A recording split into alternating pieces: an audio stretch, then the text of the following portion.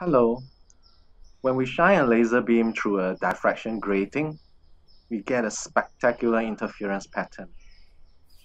Compared to the double slit interference pattern, the bright fringes of the grating's interference pattern are much brighter and more spaced out. So how is the grating different from the double slit?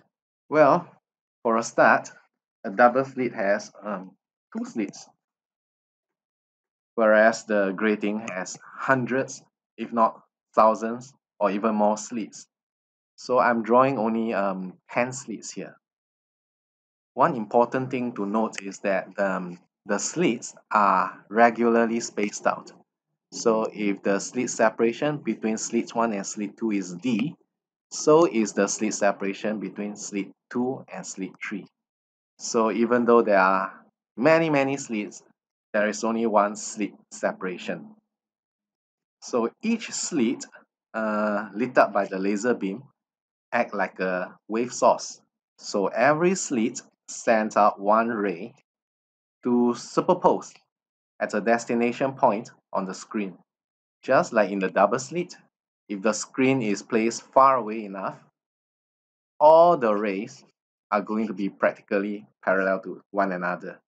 And just like in the double slit, this length here corresponds to the path difference. So between slit 1 and slit 2, the path difference is d sine theta. And the path difference between slit 2 and slit 3 is also d sine theta. This comes about because the slits, as I said earlier, are regularly spaced out. I'm going to use an applet to show you the outcome of the superposition of these 10 rays. Let's start with the double slit. So the red and the blue waves are supposed to represent the light rays arriving at the destination point. And this magenta wave here is the resultant wave. By adjusting this knob here, I can adjust the path difference and therefore the phase difference between the two waves arriving at the destination point. So for example, if I set the path difference to zero, the two waves are in phase, right? And we get a constructive interference. If I set the path difference to half a lambda, you get destructive interference. When I set it to one lambda, it's back to constructive interference, and so on. So every complete turn of this knob uh, is a phase is a path difference of 1 lambda. Um, now let's have 10 slits and therefore uh, 10 rays. So you see, when the path difference is set to 0, I have 10 waves perfectly in phase. Therefore, I have a resultant wave that's an amplitude of 10A. It's like a super constructive interference. And these 10 waves are going to align perfectly again when the path difference is 1 lambda. And again, when the path difference is 2 lambda, 3 lambdas, and so on. Now, what about the destructive interference?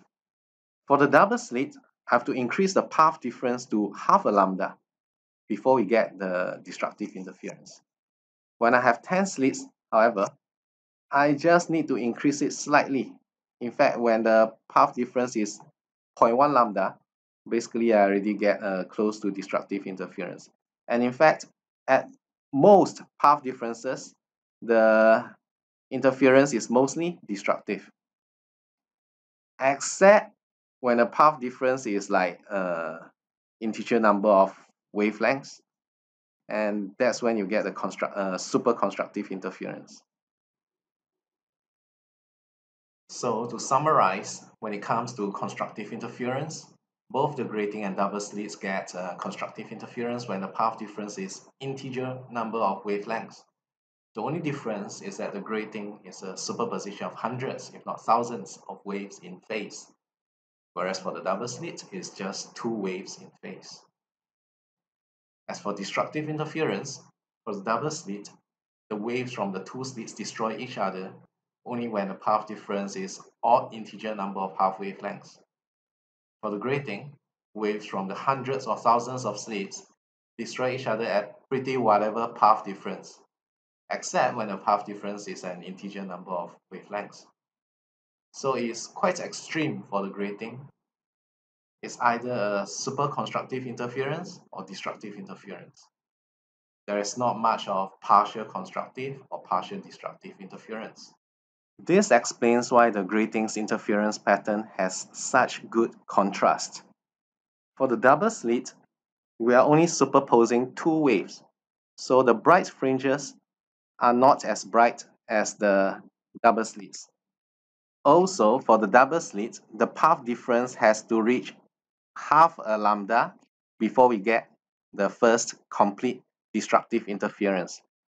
For the grating, when you have hundreds or even thousands or more slits, basically you get destructive interference at any path difference except those where you get a constructive interference. So the intensity drop very quickly once the path difference uh, is not integer number of wavelengths. In practice, the slit separation for a double slit is usually much larger than the slit separation in a grating. So um, that means the fringes for a double slit are usually much closer together. So if we draw the intensity profile for the double slits uh, interference pattern together with the gratings, you can see the, the difference between the two. Now you can see why the gratings bright fringes are much brighter and much narrower and more spaced out compared to the double slits. And I hope you know the reasons now. Okay, that's all. Ta-ta!